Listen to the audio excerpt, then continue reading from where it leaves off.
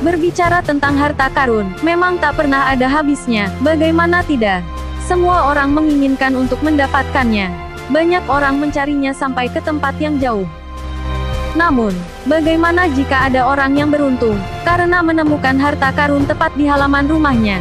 Seperti yang dialami sepasang suami istri yang tinggal di California ini. Pasangan suami istri ini menemukan koin emas tua yang nilainya mencapai lebih dari 10 juta US dollar atau setara dengan 116 miliar rupiah. Dan mereka tak perlu jauh mencarinya, karena harta karun tersebut terkubur tepat di halaman rumah mereka. Ribuan koin ini ditemukan saat pasangan ini sedang berjalan dengan peliharaan mereka yang tak sengaja menggali tanah dan menemukan sesuatu yang tak pernah dibayangkan.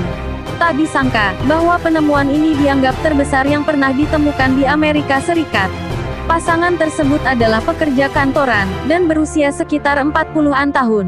Saat itu, mereka melihat adanya logam berkarat yang mencuat dari tanah dan kemudian menggalinya keluar sebanyak 1427 keping emas, yang diduga dari tahun 1800-an, dan secara mencengangkan masih dalam kondisi baik, tersimpan dalam delapan wadah kaleng logam. Pasangan itu dengan bijaksana menahan diri, dan membersihkan sendiri koin tersebut, kemudian membawa sampel dalam wadah kecil, yang masih tertutup tanah. Dengan temuan itu, sebenarnya bisa menjadikan pasangan suami istri ini menjadi orang yang kaya raya dan terkenal. Namun, pasangan ini memilih untuk tidak mengidentifikasikan nama mereka dan tidak mau menggembar-gemborkan temuan mereka.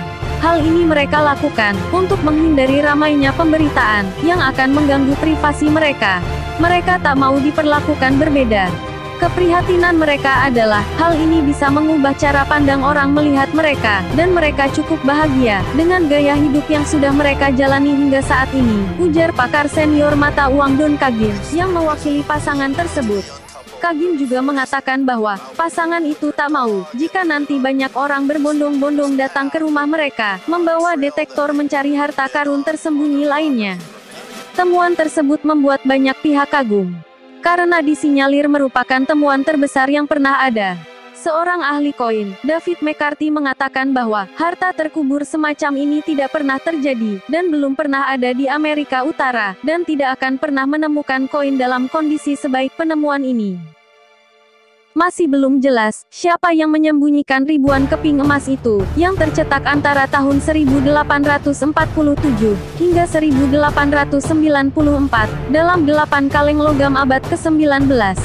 Kontainer logam berisi emas yang ditemukan, tersebar di sejumlah titik halaman rumah mereka, pada kedalaman yang berbeda. Hal itu menunjukkan bahwa, koin tersebut tidak disimpan dalam waktu yang bersamaan.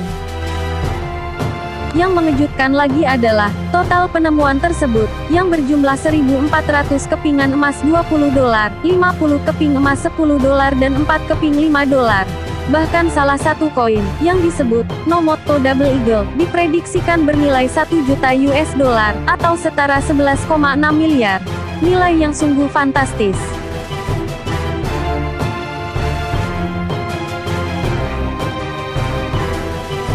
Jika kamu menyukai video di channel ini, klik subscribe untuk mendapatkan notifikasi jika Harupat Studio menambah video terbaru ke YouTube.